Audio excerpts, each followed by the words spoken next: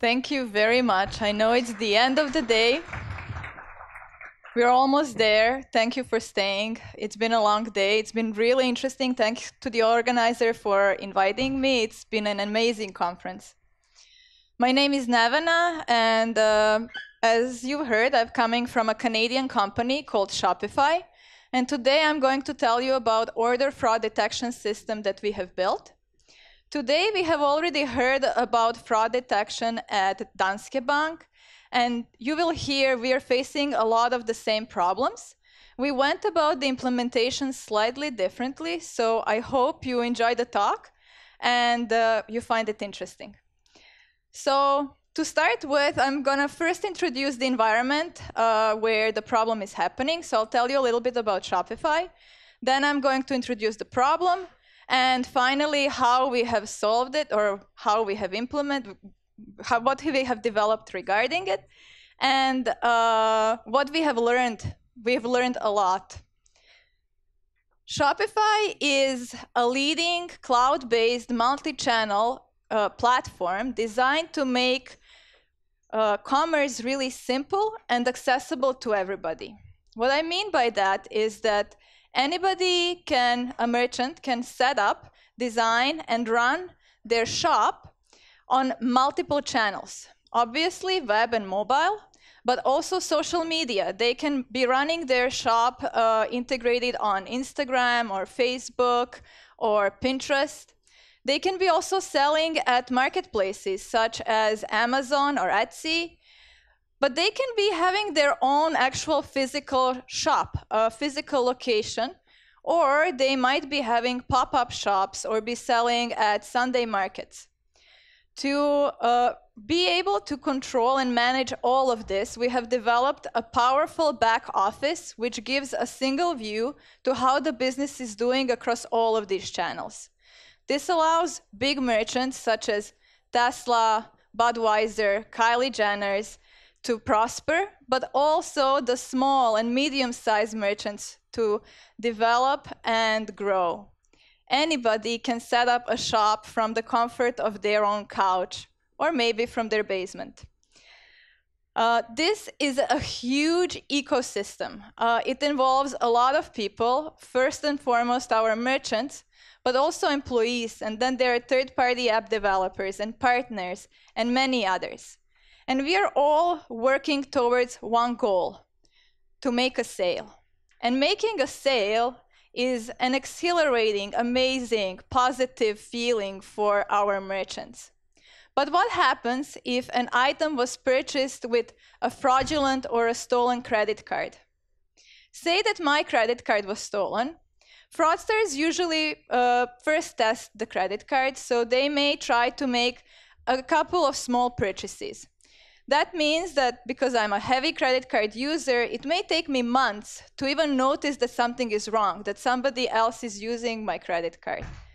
At that time, I would call up my credit card company. They file a dispute. And if it's proven that these transactions have been made illegally, all of them are canceled. What it means for our merchants? Well, they've made a sale maybe months ago, wrapped it up, put it, packaged it, and shipped it away. They were happy. Now it's been months, they're out of money. So they're out of the goods, they're out of money, and to make it worse, insult to injury, they even have to pay a fee, a dispute fee. As you can imagine, this is a very bad thing. It, it's devastating. It's devastating emotionally, but it's also eating up into their profit margins.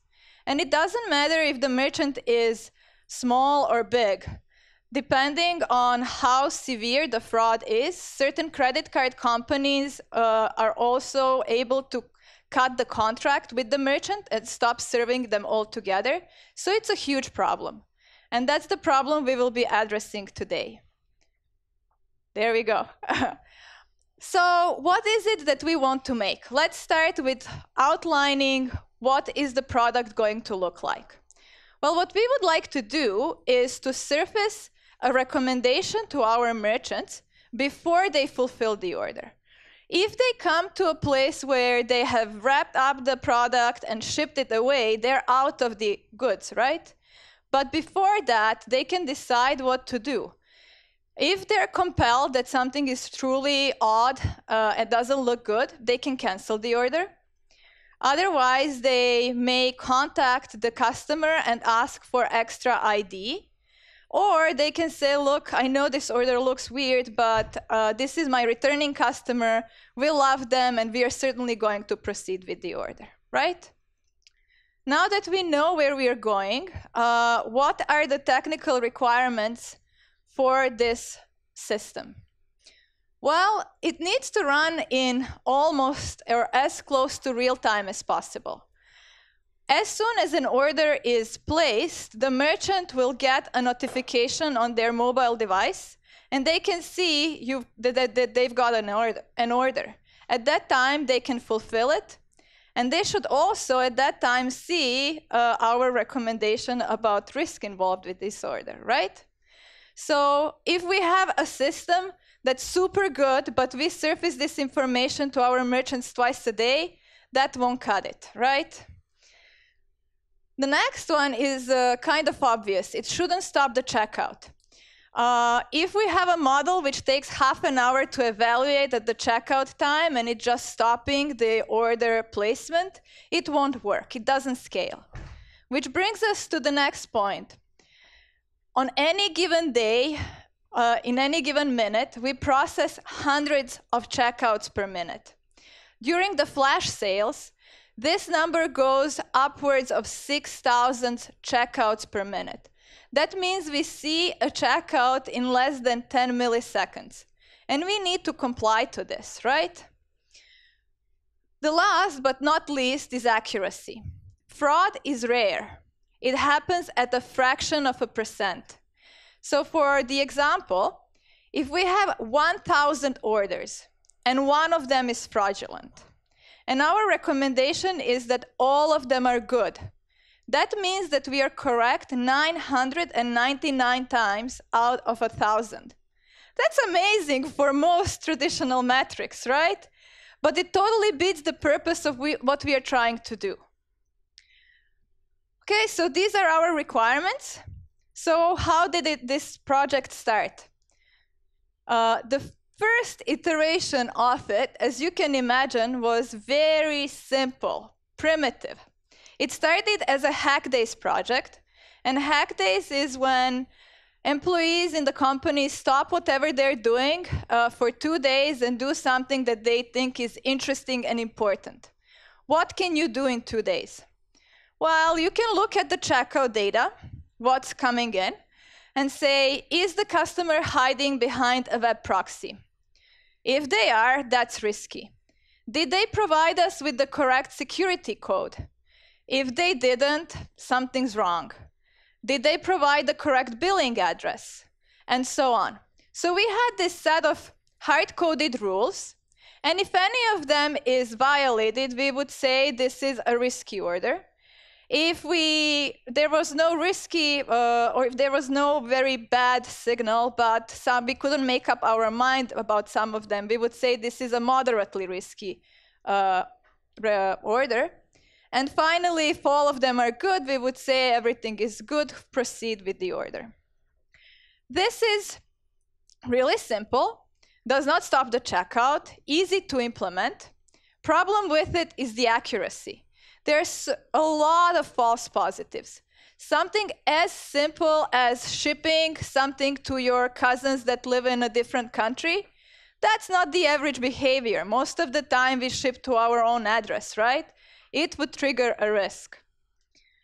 So what can we do? It's good for the first iteration. It's a proof of concept, but certainly needs improvement. What did we do? Data is our biggest asset.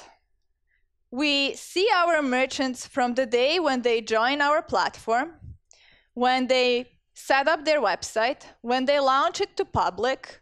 We see when they make their first sale.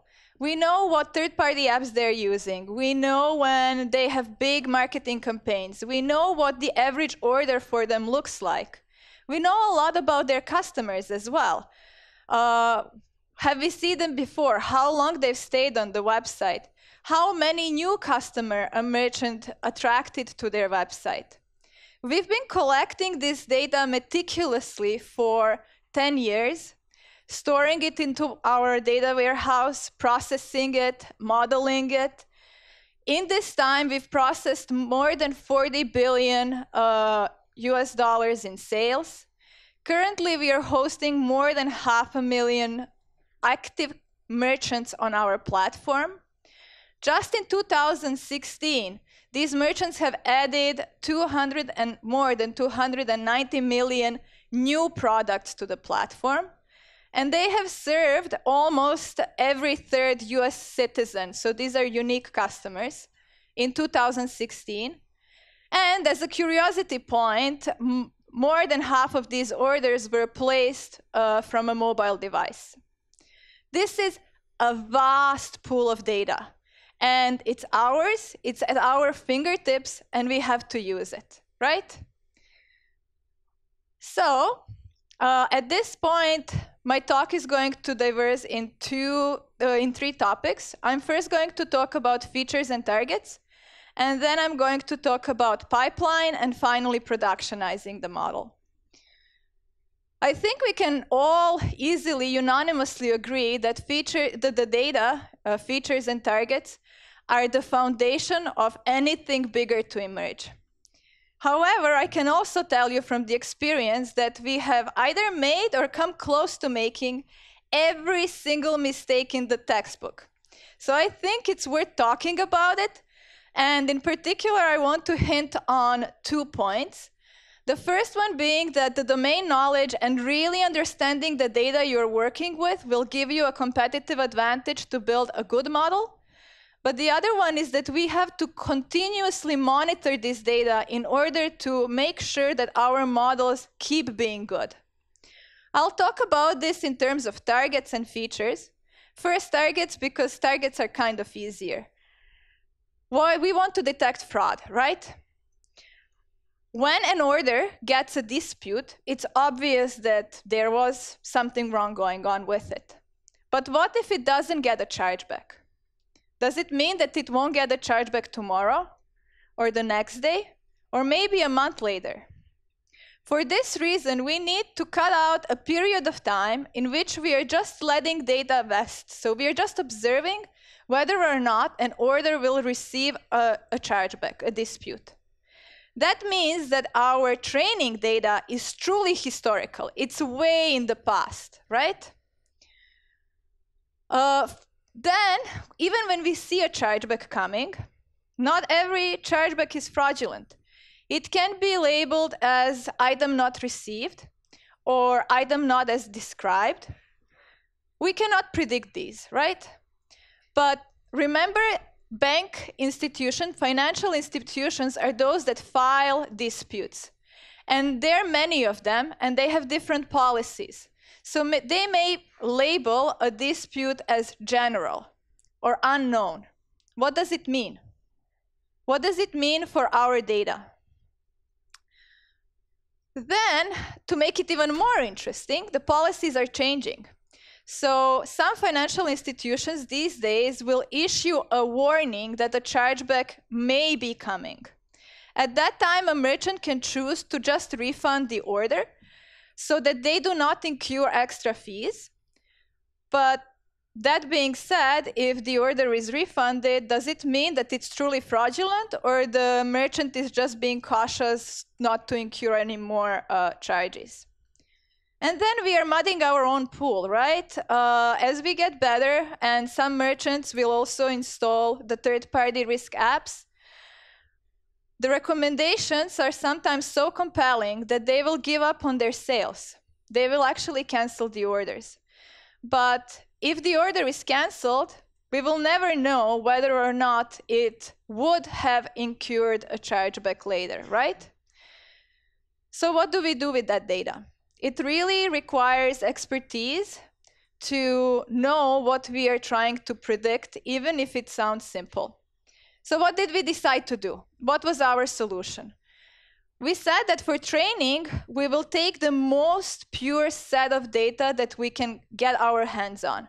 So we eliminated all orders that were refunded or canceled. And now we have only those orders that have been fulfilled and they have either received a chargeback or not. Okay? But for ver verification purposes, this is not good enough. If merchants are compelled to give up on their sales, we should at least see if we are detecting these orders and how we are performing on them, right? So that's how, what we've done. How about features? Well, I've already told you that we have to cut out this period of time where we cannot do anything. We are just waiting to see whether or not whether a chargeback will occur. That means our data is way in the past. That means that future information can easily leak in. Uh, we had a third-party service that would give us uh, a signal, an update, if they've seen any fraudulent activity related to any data provided on our order. These could come days or weeks after the order has been placed. Super predictive feature, totally not available at the checkout time. Next one is deprecation. Because the data is old, we can see a signal in the training data, but the time has passed since the platform has changed, and this feature may not be any available anymore uh, at the execution time, at the checkout time for the current orders, right? And last but not least is changing behavior. And I'll give you a very concrete example of what we've noticed. In the literature about order risk, and we've also confirmed it in our training data, an order placed from a mobile device is usually less likely to be fraudulent. This is because it's probably really awkward to put in the credit card numbers in a, a cell phone. But though it's been correct for the training set, Recently, for certain industries, we've noticed that the new orders that we are receiving, those that are fraudulent, are more likely to be coming from a mobile device. And this is kind of expected. Now we have these uh, image recognition apps so that at the checkout time you just take a sna uh, you snap a picture of your credit card and you get automatically populated numbers in the checkout so you can test a lot of cards, right? With your cell phone, even easier than actually punching numbers in. So my model that I've trained on the historical data may think that an order com coming from a cell phone, from a mobile device, is less likely to be fraudulent, but that's not the reality currently, and we need to be aware of it. So what have we done? We've set up a, a template or some policies about what it is that we want to know about data before we consider it as a feature. Those include recency and frequency. So when did we first see a signal? How often do we see it? Do we currently observe it on the data, on the current checkouts? Uh, that also means then we look into the normal things. Distribution, this is a classification problem, so distribution across, across the classes. And I will take a moment here to introduce one more part of the problem. The checkout data. So when do we see fraudulent orders? We only see fraud or our targets are available for orders placed on our own Shopify Payments Gateway. But our merchants can use any gateway. We are integrated with many providers. That means that the model that we are building is supposed to run on all possible orders we see, but we can train only on a subset of them. So at this time, when we are checking the data for features, we do our due diligence to make sure that whatever we are interested in is available across all orders at at least approximately the same rate with the same distribution. We don't have targets, but we can at least check that it's there, right? Good? Okay, so we are ready. We have features, we have targets. We are ready to build a model. And our pipeline, uh, our platform is built on Spark. but it is heavily customized. There, there are some excellent uh, data platform engineers and inf data infrastructure engineers, even here with me in Stockholm. You can chat with them. Uh, we would have done nothing without them. They provide a lot of custom made tools for us. The model itself, we are keeping it really simple. Uh, we've done several iterations. We saw that we have lots of repetitive code. So what we do is we've abstracted it to the point that all we need uh, is to specify the input data, the feature transforms, and we are pretty much done.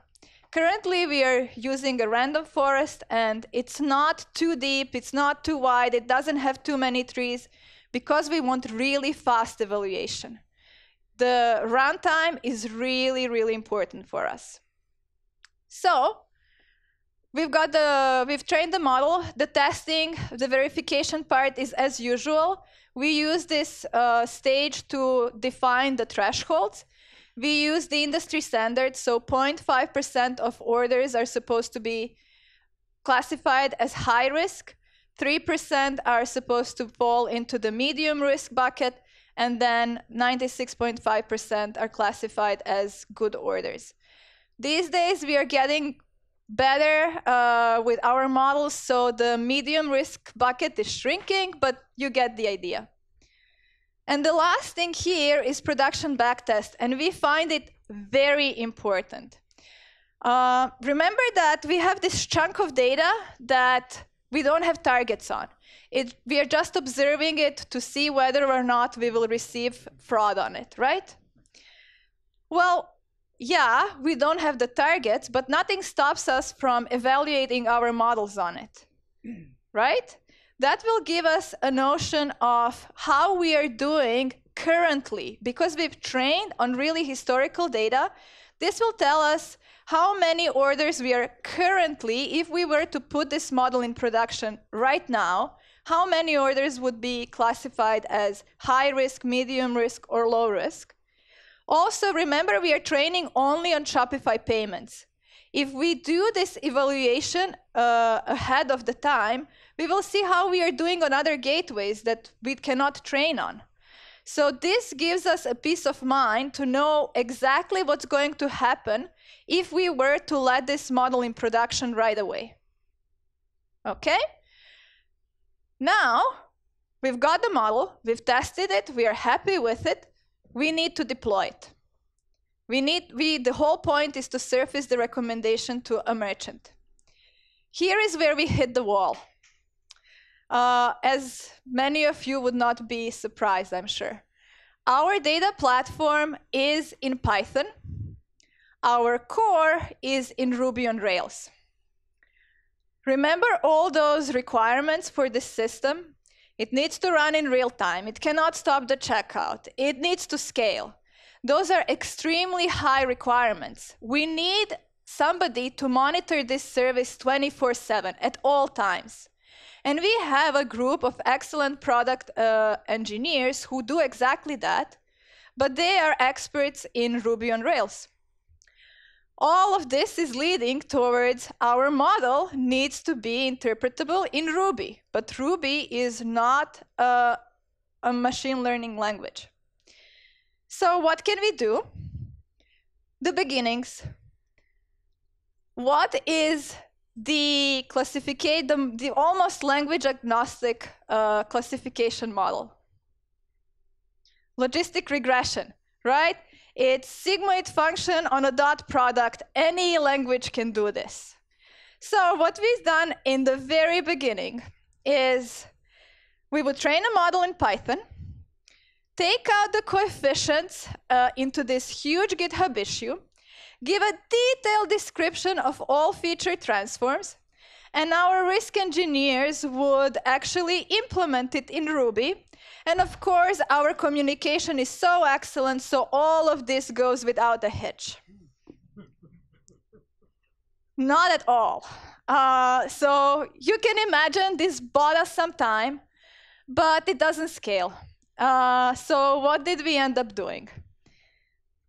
We decided to use PMML, a predictive modeling markup language. Uh, this is language agnostic uh, way of serializing your predictive model into an XML file. It's just an XML file, doesn't get any simpler than that. But what steps do we need to take to do this? Well, first we need to get our model from Python into this XML file. And maybe you've noticed on the previous slide, we start preparing for it at the training stage. So, oh, I'm the first. uh, so we say the we declare the variables as PMML variables. And we also have feature transforms which are interpretable in PMML. The, this process is not easy. I'm not going to lie, you, to lie to you. It, there's been a lot of custom work, and uh, mostly it was done by my, by my colleague Marek. But then, even when you get the XML file, you need to make Ruby uh, aware of it. So we need to let Ruby know how to interpret it. This has mostly been championed, championed by my colleague Kyle. He wrote a package called POML. Currently, it's proprietary, but eventually we are thinking of making it open source. He had help from Marek and our interns. And now that Ruby knows how to interpret our model and what to do with it, we need to surface the information to our merchants. That uh, sounds really simple, but remember all those heavy requirements on the model? All of these have to be satisfied at this last step. So we have a group of risk engineers who are tirelessly working on it. Are we done? Almost. We have one more step to go. Remember that data land and production are one step away from each other. So we really don't know what's going on at the production time. To really uh, alleviate this problem, we'll deploy the model in production, but do not surface the information to our merchants. Instead, we put the score and recommendation and all of the features on a Kafka topic we retrieve that Kafka topic in Dataland and then reconcile. That's easy. We can match exactly what we are expecting to see in Dataland from what has been done in production. And that gives us total confidence that our whole pipeline is working as expected, right? From the very beginning to the very end. And that's it. We've made a really powerful tool on which we can iterate quickly with the confidence ah, and the, we are getting better with each iteration. And with the vision of our product manager, Ralph, and our leader, uh, director, Solmaz, we are going to push this product one step further uh, and really bring the peace of mind to our merchants. But this is the beginning. Remember I told you about of vast data that's available for us. It's there, it's ours. And this is just one application of what we can do to automatize processes for our merchants. The other applications are limitless, right? We can do logistics, we can do uh, fulfillments, we can do marketing, we can do financings. But to actually do so, we need people so if you're interested, please come talk to me. I'll stick around. Thank you very much for your attention.